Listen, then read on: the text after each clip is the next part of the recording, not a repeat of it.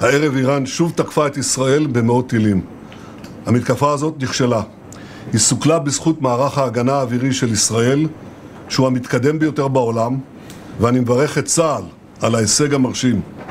היא גם סוכלה בזכות הערנות והאחריות שגיליתם אתם, אזרחי ישראל. ואני מודה גם לארצות הברית על תמיכתה במאמץ ההגנה שלנו. איראן עשתה הערב טעות גדולה, והיא תשלם על כך. המשטר באיראן לא מבין את נחישותנו להגן על עצמנו ואת נחישותנו לגמול לאויבינו. נעמוד בכלל שקבענו. מי שתוקף אותנו, אנחנו תוקפים אותו. זה נכון בכל מקום כשאנחנו נלחמים בציר הרשע. אנחנו נלחמים בציר הרשע בכל מקום, כולל חיילינו הגיבורים שפועלים עכשיו בדרום לבנון ובעזה. היום יותר מתמיד, כוחות האור בעולם חייבים להתאחד ולפעול יחד נגד משטר האייתולות החשוך שהוא מקור הטרור והרוע באזורנו. עליהם לעמוד לצד ישראל.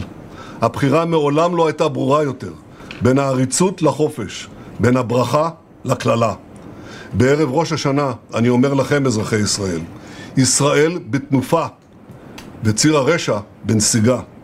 נעשה כל מה שצריך כדי להמשיך מגמה זו, להשיג את כל מטרות המלחמה, ובראשם החזרת כל חטופינו, ולהבטיח את קיומנו ועתידנו.